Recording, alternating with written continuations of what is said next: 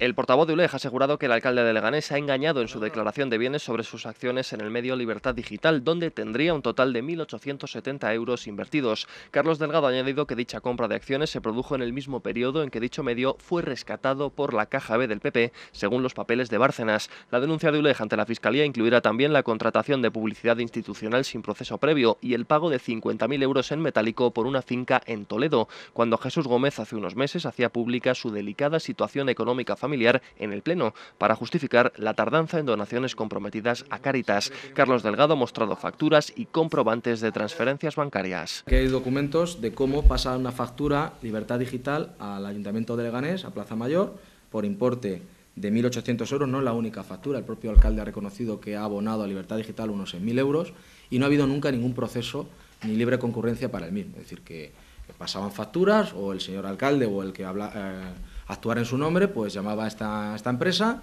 pasaba una serie de banners o anuncios o lo que fuera y el Ayuntamiento de Leganés le, pagaba. El tema de la, relacionado con las acciones, los documentos que tenemos, es un comprobante de transferencia en el cual con fecha